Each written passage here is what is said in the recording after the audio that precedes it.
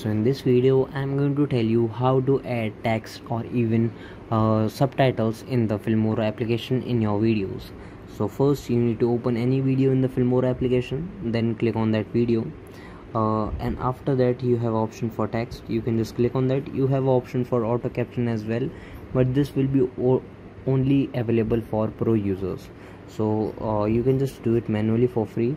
You need to click on text icon then you can just add any text.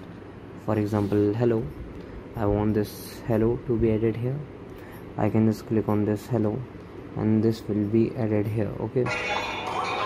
Mm, now I need another text. I can just click on that.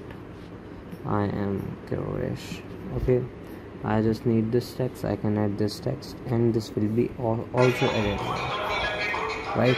So this is how you can add text in your filmora videos uh, and also add subscribe uh, also add subtitles like this